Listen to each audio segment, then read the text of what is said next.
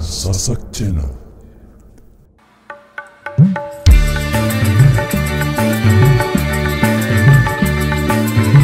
Oke, selamat bergabung juga teman-teman buat rekan-rekan dari KYLS